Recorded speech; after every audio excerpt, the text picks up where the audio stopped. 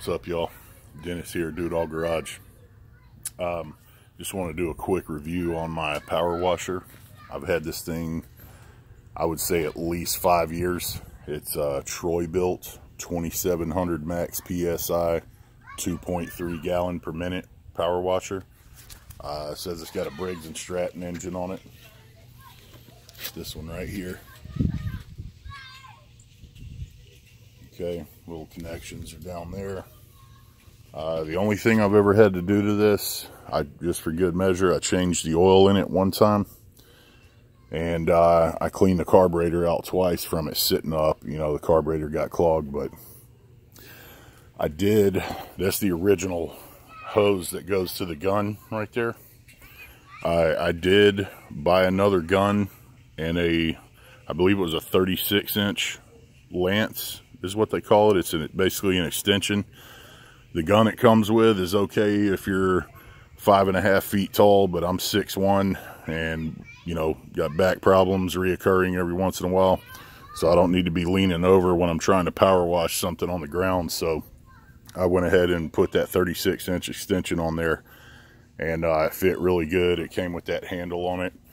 I can't remember what brand it is, but uh, best ones I could find for the best price by far were at Northern Tool and Equipment. So I went to my local Northern Tool and got that and swapped it out. But anyway, this thing is, uh, other than when the carburetor got clogged up, which is a natural occurrence, there's nothing you could do about that. But it's it's run really well. I've been really impressed with it. Uh, my father-in-law has used it to clean boats and uh, uh floating boat docks out on the lake up here in Lake Conroe and uh, I've used it to wash my car, wash a lot of four-wheelers. I've power washed my house with it probably two or three times, and I've done my driveway and patio with it several times. So uh, I'm actually out here today. It's a nice sunny day in uh, January. I'm power washing a few rugs that uh, we used to have in the house. We had some remodeling done. AC drip pan overflowed, caused some damage. So long story, won't really get into that, but we had to basically take everything out of the house and I ended up throwing these, rolling these up and throwing them in my dirty old garage. So they weren't smelling too good and I told my wife I'd power wash them on when I had a sunny day out. So anyway, that's what I'm doing. But uh, that's my review on it. Again, it's uh, I don't regret buying it for the money. It was about 300 bucks.